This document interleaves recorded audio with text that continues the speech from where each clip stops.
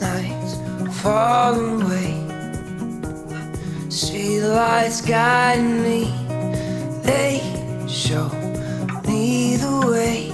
Oh, oh, oh, take my hand, I'll lead you home.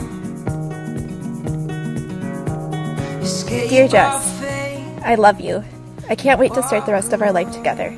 I couldn't be more excited that the rest of our life starts today. It seems like I've been awaiting this day for so long. I can't believe it's finally here. You are not the girl I was expecting. You are so much more. Not only are you a Christ centered woman full of beauty, adventure, and love, but you help me grow in ways I never dreamed of.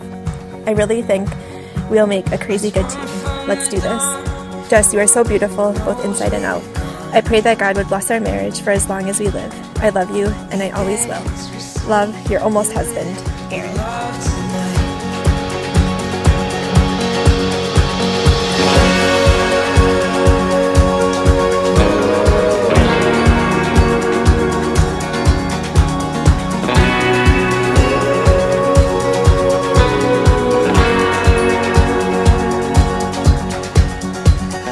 Aaron, gosh, I can't believe this day is finally here, our wedding day. Needless to say, I am so excited to marry you. You are someone who I can connect with on both a deep and lighthearted level. You are spontaneous, creative, and always up for adventures. You are willing to try new things, coffee, running, etc. You are so good with kids, you will make one heck of a dad. You are incredibly patient. Example, waiting six months for, with a ring. You encourage me, you challenge me, and you point me to Jesus. I'm so extremely blessed and privileged that I get to be your wife. I love you so much, and I am so honored that I get to spend the rest of my life with you. Forever and always, Jessica.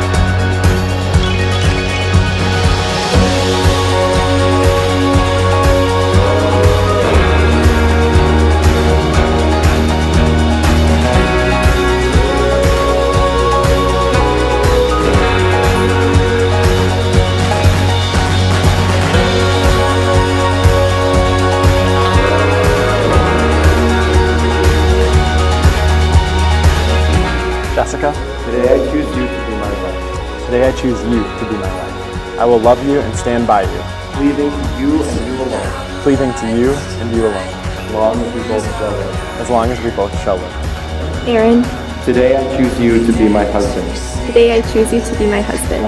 I will love you and stand by you, cleaving to you and you alone, leading to you and you alone, as long as we both shall live. as long as we both shall live.